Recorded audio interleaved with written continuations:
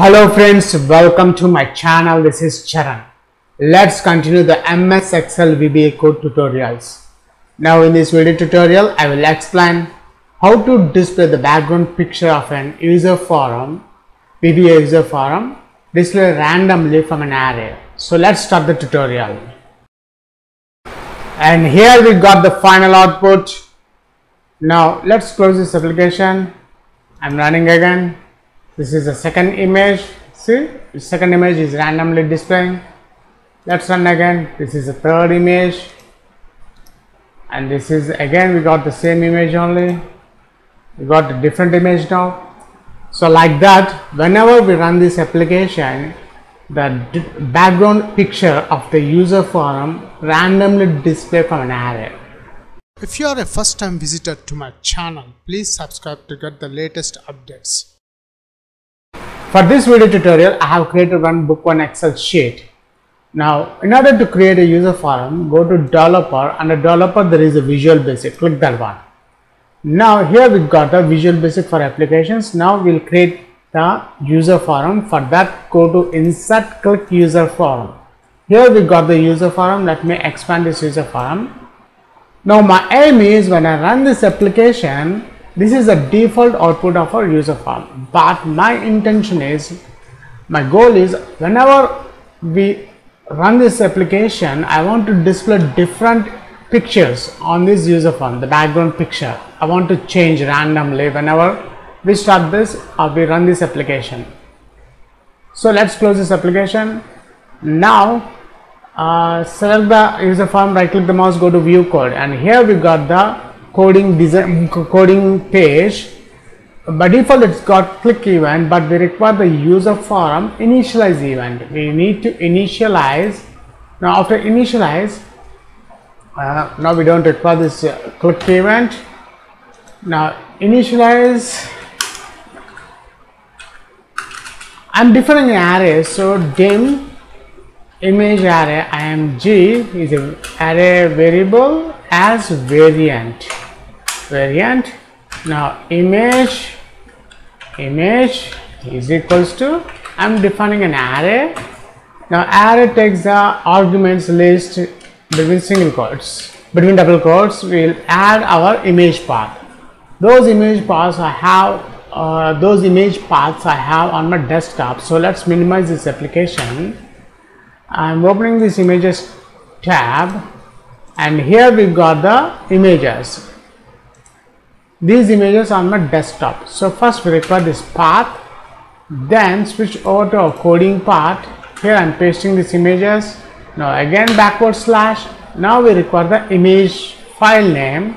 So first let's add up arrow. Rename this one copy this one. We need to add exactly the same image names. Image names dot jpg extension also. Comma again between double quotes let's copy this one. I have five images so I'm adding five uh, five uh, arrays here. Array size is five.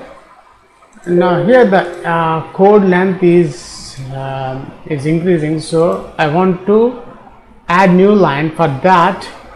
Give some space underscore. So now we can add the code in the second line. Comma let's copy this one paste and paste. And this one it's not up arrow. This is right arrow. Rename copy this one. Right arrow. And the next image is the left arrow. Copy this one. Left arrow and the next one is the image image upload. Image upload. And the last one is the down arrow. Copy this one and paste here. Now after adding the uh, array size we have 0 1 2 3 4 now we need to close this last one now after defining the arrow now I want to multiply this image size, array size with a random method. So for that I am declaring one variable which is x is equals to um, x is equals to int the data type is int takes the number so I am adding the random method into the uh, 1 2 3 4 let's add the 5 5 images I am adding. After that uh, let's define the user form one dot picture. Picture is equals to load picture. The load picture method takes the file name the files we are getting from uh, from the image files we are getting from this uh, image array. So image inside this image array I am adding this x. X.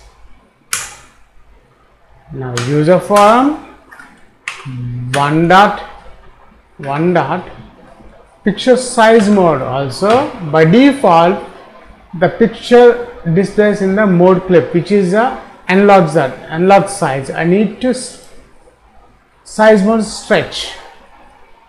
That's it. Let's check the output and run this application. And here we got the final output. Now let's close this application. I'm running again. This is the second image. See the second image is randomly displaying.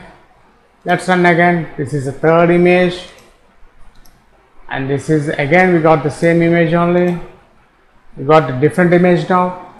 So like that whenever we run this application the background picture of the user form randomly display from an array.